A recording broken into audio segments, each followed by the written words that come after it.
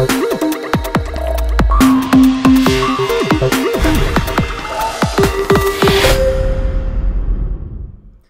what is up guys? Welcome to my channel. Today I'm going to do a DIY and show you guys how to make milk art. The materials and ingredients you guys are going to need to do this DIY is a bowl, milk, food coloring, of course whatever color you like, and lastly, dish soap. Alright, your first step is to pour the milk inside the bowl.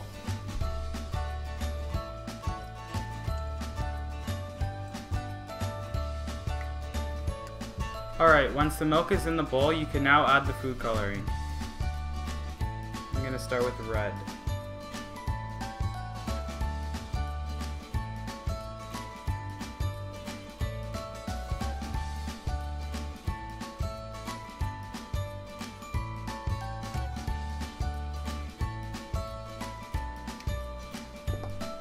And now blue.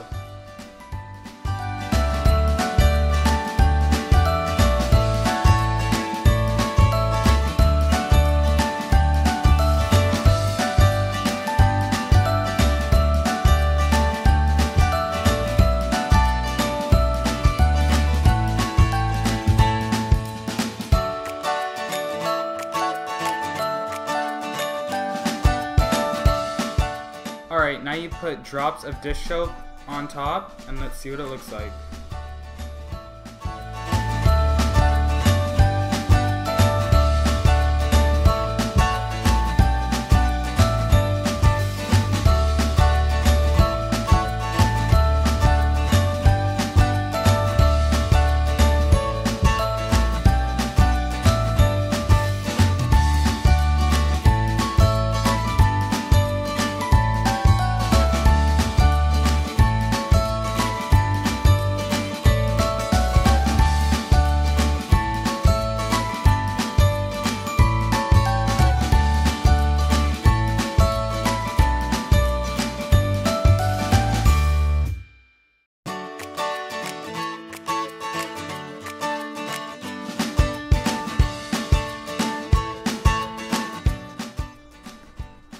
Alright, I'm gonna add a bit of extra food coloring on top to see what it looks like.